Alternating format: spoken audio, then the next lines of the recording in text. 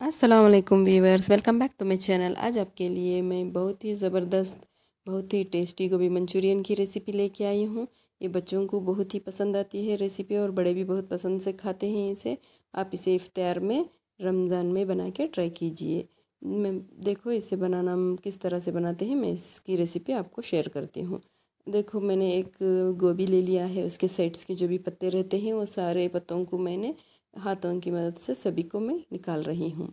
सभी को अच्छी तरह से निकाल लीजिए और जो एक्स्ट्रा जो बचा हुआ जड़ रहता है, उसे भी आप काट लीजिए। काटने के बाद साइड्स के जो भी गोभी रह, गोभी है, उसे अच्छी तरह से हाथों से काट के आप इसे छोटा छोटा चॉप कर लीजिए।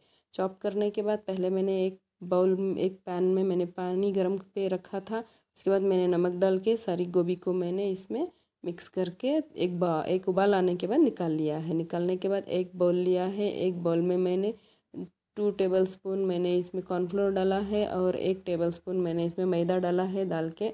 इसमें चिली पाउडर नमक, हल्दी पाउडर और धनिया और इसमें मैंने जिंजर गार्लिक पेस्ट डाल के पानी डाल के सारे मसाले को अच्छी तरह से मिक्स करके मैंने एक बैटर तैयार कर लिया है। इसे अच्छी तरह से बैटर तैयार कर लीजिए मिक्स करके। और जो उबला हुआ जो गोभी था, वो मैंने इसमें डाल दिया है। मैंने फिफ्टी परसेंट ही उबाला है इसे। बाकी का ये, इसमें ही अच्छी तरह से ये फ्राई हो जाएगा। देखो, इसे अच्छी तरह से मिला लीजिए। ट्वेंटी मिनट्स रेस्ट के लिए रख दीजिए। फिर इसे ऑयल अच्छी तरह से गर्म हो जाने के बाद जो भी एक गोभी है, इसे डाल के अच्छी तरह से इसे फ्राई कर लीजिए। गोल्डन ब्राउन होने तक अच्छी तरह से क्रिस्पी हो जाएँगे। तो आप इसे निकाल दीजिए। देखो, मैंने एक प्लेट में इसे निकाल लिया है। निकालने के बाद एक पैन में, एक पैन में मैंने ऑयल गरम कर लिया है। इसमें मैंने गार्लिक और प्याज और कैप्सिकम और हरा धनिया डाल के मैंने अच्छी तरह से मिला लिया है। पहले मैंने इसमें विनेगर डाला है, एक टेबल स्पून उसके बाद मैंने सोया सॉस डाला है और उसके बाद मैंने चिली सॉस डाल के इन सभी को मिक्स कर रही हूँ।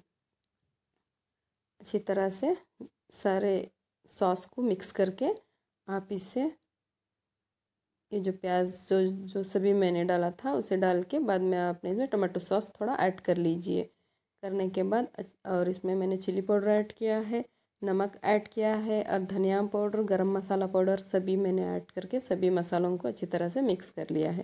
पहले मैंने एक टेबल स्पून कॉर्नफ्लोर लिया है इसे मैंने थोड़ा पानी डाल के अच्छी तरह से इसे घोल तैयार कर लिया है, हरिया धनिया डाल के। मैं इसे कॉर्नफ्लोर के पा, जो पानी डाला था, उसे भी मिक्स कर लिया है। जो मैंने फ्राई किया हुआ गोभी था, वो मैंने इस सभी मसाला देखो एकदम क्रिस्पी और यम्मी बहुत ही स्पाइसी लग रहा है ये रेस्टोरेंट स्टाइल में ही मैंने बनाया है। आप इसे घर पर ट्राई कीजिए। मेरी रेसिपी आपको पसंद आए तो लाइक कीजिए सब्सक्राइब कीजिए, अपने रिलेटिव्स में शेयर कीजिए। अस्सलाम वालेकुम वीवर्स